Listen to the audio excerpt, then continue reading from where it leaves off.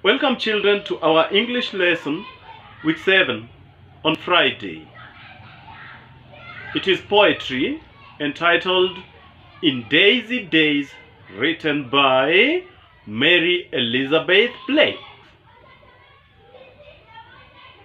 Suns that sparkle and birds that sing, brooks in the meadow rippling over, butterflies rising on golden wing through the blue air and deep red clover. Flower bells full of sweet anthems run out on the wind in lone woodland ways. Oh, but the world is fair and young in daisy days. Lusty trumpets of barley bees full and clear on the sweet air blowing, gnarled boughs of the orchard trees, hidden from sight by young leaves growing.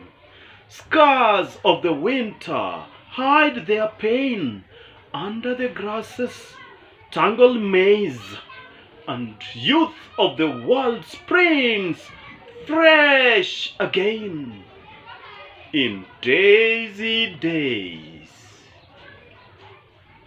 Down in the valley and up the slope, starry blooms in the wind are blending.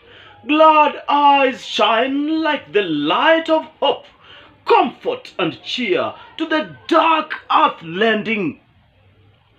Buoyant with life they spring and soar like the lark that carols his matin lays climbing to gates of heaven once more in daisy days. Enjoy poetry. Thank you.